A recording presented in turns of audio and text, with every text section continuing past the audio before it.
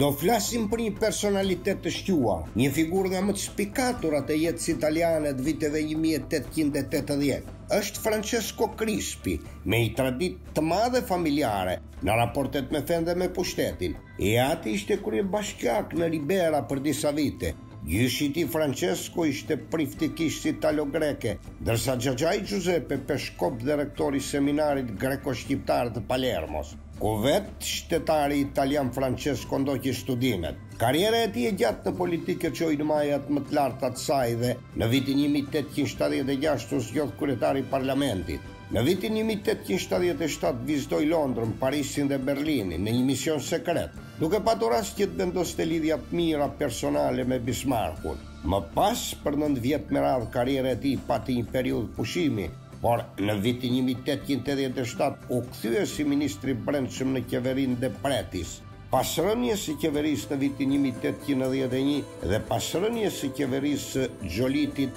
Krispi u bë përsëri kryeministër. Në këtë periudhë qeveria e tij mori karakter gjithnjë e më shumë konservator dhe autoritar, duke shtypur me ashpërsi çdo lëvizje punëtorësh. Antonio Gramsci, në fletoren e tij të burgut, e përshkruan politikanin Krispi si njeri energjik, të vendosur dhe fanatik për bashkimin politik dhe tokësor të Italisë. Por, vazhdon Gramsci, Crispi nuk hezitoi ta hidhte jugun dhe ishujt në një krizë të frikshme, mjaft që të forconte industrinë që mund t'i jepte vendit një pavarësi reale, ndërsa poeti ynë i Rilindjes në memorien e tij shprehet se nuk i zinte shumë besë Crispit. Humbja në Adua në vitin një mijë e tetëqind e nëntëdhjetë e gjashtë provokoi një krizë në qeverinë e tij, por edhe daljen përfundimtare nga skena politike. Katër vjet më vonë mori pjesë në funeralin e mikut tij me të cilin kishte ndarë idealin politik. Të fuqisë për një Itali të bashkuar, sovranin Umberto i Parë. Krispi ishte arbëresh dhe kur u bë kryeministër mbante njëkohësisht edhe postin e ministrit të Jashtëm. Në interes edhe të vetë Italisë, ai u përpoq që Shqipëria të ishte e pavarur dhe e lirë nga çdo lloj pretendimi i kohës. Krispi mendonte gjithashtu që territoret ku flitej gjuha shqipe t'i jepeshin Shqipërisë dhe ëndërronte një Shqipëri nga Ulqini në Prevezë e deri në Gjirin e Artës. Nga ana tjetër, edhe Struga ishte shqiptare, por edhe më tej Kosova dhe Çamëria. Ai doli hapur kundër nacionalizmit sllav, duke deklaruar se raca shqiptare s'ka asnjë lidhje me sllavët e Ballkanit. Traktati i Aleancës së Trefishtë dhe pikërisht Franca e pengoi Italinë në idetë e saj, sepse një fuqi kërcënuese si Italia i krijonte probleme në kufijtë e vet. Arbëreshtë u organizuan politikisht dhe një rol të rëndësishëm luajti edhe Krispi.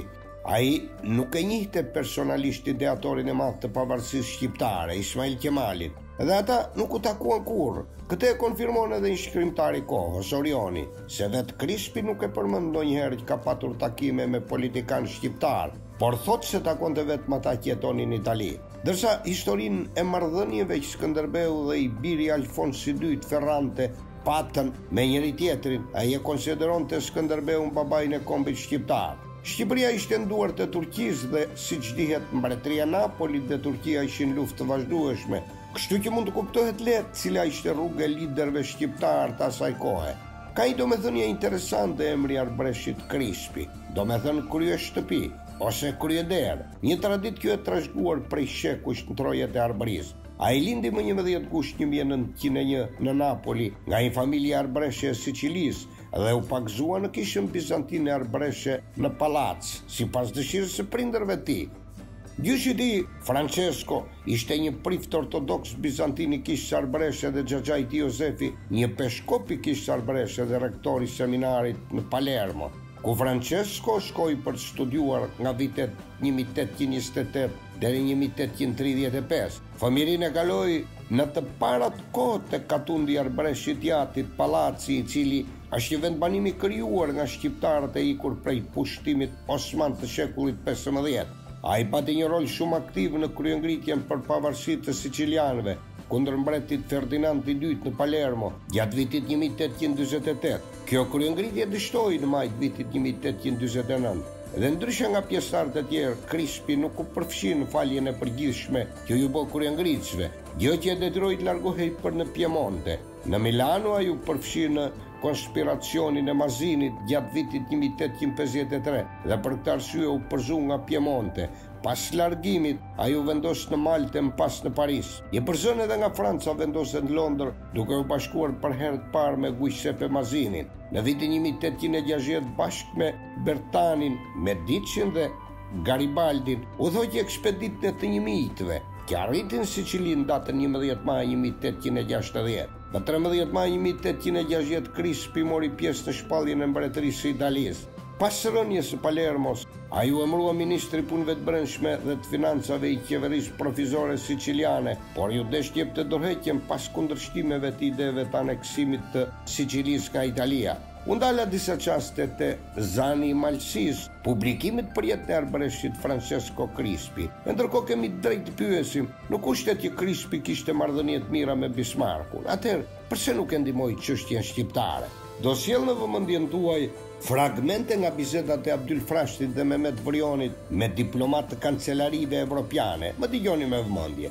Qeveria italiane ishte e mendimit se Kongresi i Berlinit kishte gabuar në qëndrimin ndaj çështjes së Epirit dhe se Italia po punonte në favor të çështjes sonë, tha Mehmet Vrioni. Edhe Francesco Crispi qe shprehur në favorin tonë, ndonëse u tregua i ashpër ndaj qeverisë perandorake. Më dy maj një mijë e tetëqind e shtatëdhjetë e nëntë, Abdyl Frashëri dhe Mehmet Vrioni u pritën nga ministri i Jashtëm i Francës, Waddington. Përfaqësojmë gjithë Shqipërinë, i tha Abdyli. Jemi të ngarkuar të sqarojmë qeveritë evropiane se vendimi i Berlinit ka sjellë shqetësime të mëdha për shqiptarët. Me një të rënë të kalemit i shkëputen Shqipërisë tokat më prodhuese, qytetet me tregti dhe industri më të zhvilluar, portet më të sigurta dhe më të zhvilluara. Politika greke nuk ndalet me kërkesat e saj. Duke marrë gjithë këto pika strategjike shqiptarët do të mbeten në mëshirën e grekëve. Shumë shpejt Greqia do të pushtojë edhe pjesën tjetër të Shqipërisë. Nuk ju kuptoj mirë, tha Waddington. Mbase nuk e njihni si duhet frëngjishten. Mua më thonë se flet frëngjishten më mirë se parizenët, tha Abdyli. Tërë dyshim në fjalët e funksionarit të lartë francez. Po mirë, tha menjëherë Abdyli, flasim osmanisht, persisht, arabisht, italisht, gjermanisht. Flasim greqisht, tha zyrtari i lartë francez në mënyrë të prerë. Unë e njoh mirë gjuhën greke, si edhe juve. Ndaj, vazhdojmë të bisedojmë në atë gjuhë. Pabesia franceze dhe dinakria greke ngjasojnë me njëra-tjetrën. Ministri i Jashtëm francez u shpreh se aneksimi i Prevezës dhe Artës nga Greqia nuk do të shkaktojë asnjë kundërshtim nga popullsia, pjesa më e madhe e së cilës flet greqisht dhe është e fesë greke. Vërtet në Artë flitet greqisht, tha Abdyli, por flitet edhe shqip, ndërsa në Prevezë përdoret vetëm shqipja. Pastaj këtu nuk është fjala për gjuhën e aq më pak për fenë, por vetëm për kombësinë. Nëse do të pranohet parimi i gjuhës dhe besimit atëherë duhet të përmbyshet e gjithë harta e Evropës. Epiri ka gjashtëqind e pesëdhjetë mijë banorë dhe vetëm shtatëdhjetë mijë flasin greqisht. Kjo nuk është arsye për të sakrifikuar gjithë vendin. Kuptojeni pra, Francesco Crispi s'ka bërë asgjë për Shqipërinë, paçka se deklarohej i tillë, por vetëm me fjalë. Faleminderit.